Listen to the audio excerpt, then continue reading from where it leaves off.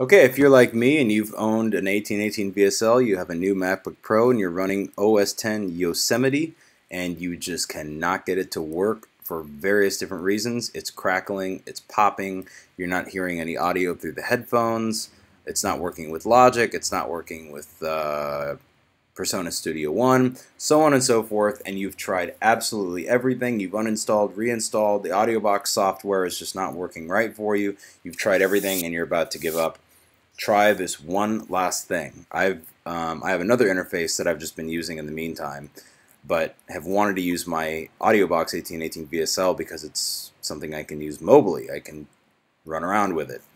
So try this. If you've tried everything, try this. It worked for me.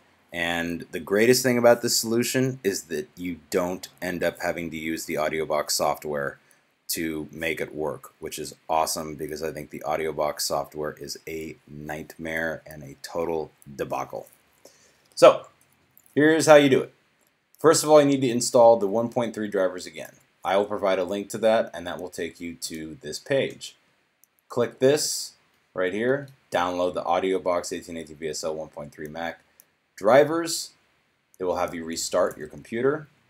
After you do that, open up the software you just installed, which you'll find in Finder. Go to Applications, and it will be listed down here under AudioBox VSL. Open it up.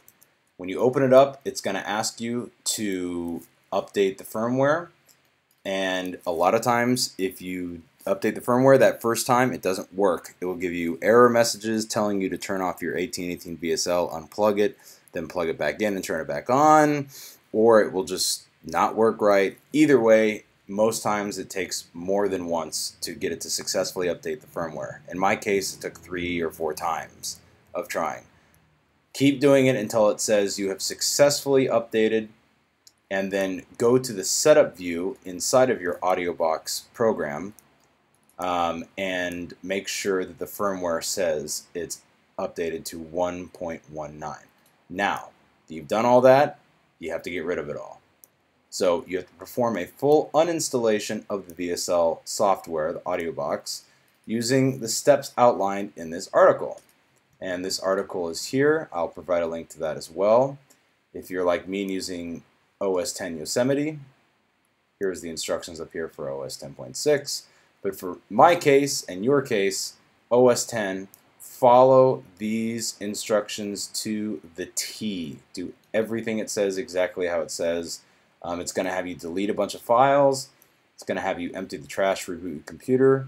After you, after you reboot, you're going to have to repair your disk permissions. The way you do that is you just go into Finder, make a new Finder window, and hold Command Shift U, and that will be able to get you into Utilities to where you open up Disk Utility, click on the lower of the two hard drives of your main hard drive, and just simply click Repair Disk Permissions.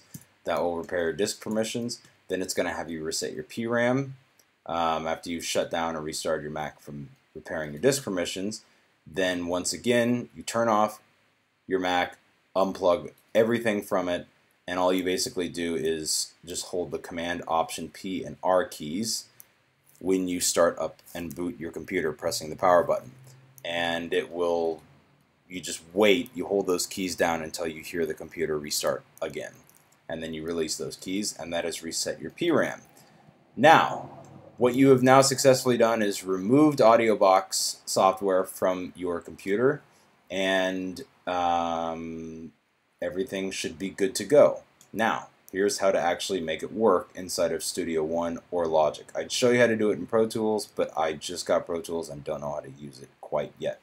So for Studio One, open up a new project.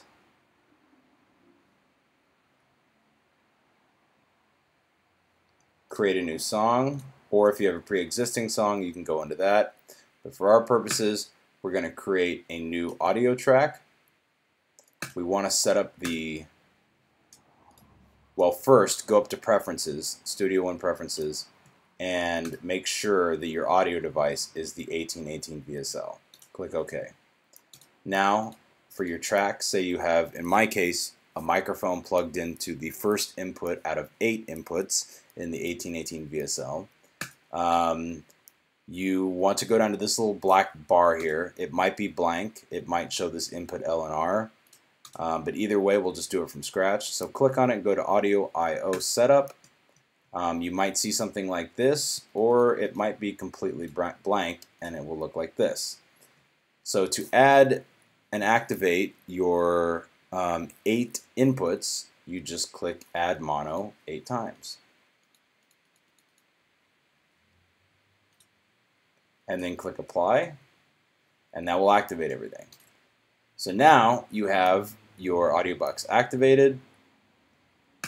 Click here down at the black box again and you want to assign this track to the input that you have your instrument or your mic um, plugged into. In my case it's input 1. And then click the record button and you are active and ready to go and record but you're going to notice you still can't hear stuff through your headphones most likely. That is because you go into the mix window, your output channel here, make sure that it's it might be set on none, it might be on main, it might be on anything. Whatever it's on, you want to click on it and make sure it is set to phones 7 plus 8. And now you will be able to hear and record and everything works beautifully, no crackling, no popping with PreSonus Studio One using your headphone jack from the 1818 VSL as your output and you're good to go there. Hallelujah. All right, so how's here's how you do it in Logic. It's a little different. Open up Logic.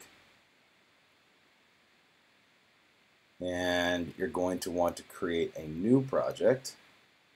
I'll close this one. New.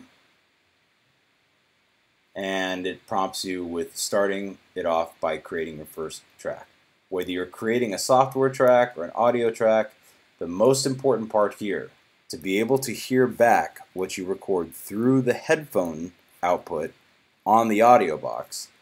Notice over here when you start a new track, it might look like this. Click the details to drop it down.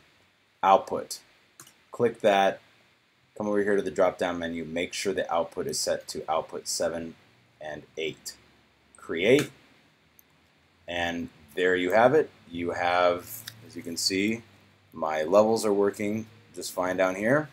And you will be able to hear it back through the headphones. Great. No cracking, no popping. Everything will sound great and you can hear it. However, let's say you already have a project and you have um, a track that has not been assigned to output 7 and 8. And instead, it's assigned to the default output 1 and 2. So you'll see when I switch to this track, look down here, this track is assigned to output 7 and 8, whereas this track is assigned to just output, which is the default main L plus R 1 and 2 output, and you're not going to be able to hear anything through your headphones. So if you want to switch that, your pre-existing tracks, so they all go through output 7 and 8, all you do is pull up the mixer window by pressing X is the shortcut in Logic. And here you'll see all your tracks. Here are the two output channels, output regular, output 7 and 8. So for this track that you're on, if you want to switch it to output 7 and 8, all you do is go here to this little uh, button here where it says stereo out, stereo out, or it might say output 1 and 2. Whatever the matter, right click it, Come down here to output. You'll see a drop down menu and make sure it's set to output 7 and 8. And as you can see, it has removed the old output channel that we had that was no longer in service. And now you have everything working in Logic. You can hear yourself, no crackling, no popping. Everything sounds great, and you can hear it all through the output of your headphone output that is on the 1818 VSL. And that is how to solve the obnoxious problem that has been going on with the 1818 VSL for about three years now. And um, it also allows you, the greatest thing is you no longer have to mess with the AudioBox software and have it running to get all of your other, to get everything to work. Um, and what this effectively does is it turns your AudioBox 1818 VSL into a class compliant device, which basically means you don't have to run the AudioBox software simultaneously while you're using the AudioBox 1818 VSL. which I think is fantastic because the AudioBox software has been a nightmare from day one, in my opinion. That's how you do it. Hope it works for you all. Took me about three years to figure that one out. Thanks to PreSonus um, for finally getting me a solution that worked. It took them a very, very, very long time. Um, but this one finally works, and I hope it works for you. Take care.